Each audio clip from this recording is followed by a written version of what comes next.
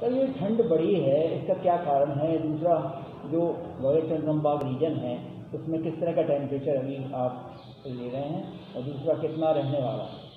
ये ठंड जो अभी बढ़ी है, इसका कारण है शीतलहर चल रही है, जो उत्तरी पश्चिमी हवा आ रही है, जो हमारे हिमालय में जो बर्फबारी हुई थी पिछले दिनों, उसकी हवा, जो ठंडी हवा आ रही है, उसकी वजह से यहाँ मैदानी इलाकों में ठंड बढ़ी हुई है। उसी की वजह से शीतलहर चल रही है यहाँ पर। और आज का जो न्यूनतम पारा था वो 4.4 डिग्री सेल्सियस था।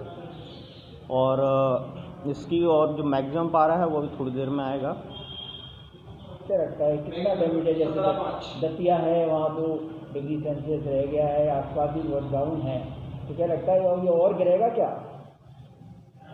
नहीं अब लगभग इतना ही पारा रहेगा अभी एक दो दिन। उसके बाद पारा ये बढ़ेगा दो तीन डिग्री तक मिनिमम टेम्परेचर बढ़ेगा।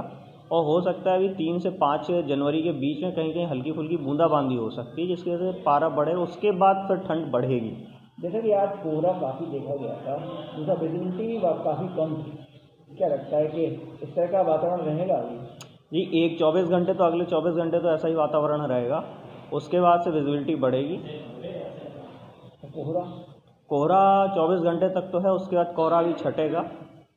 तो वर्षा भी हो सकती है। वर्षा कहीं कहीं बूंदें पड़ सकती हैं।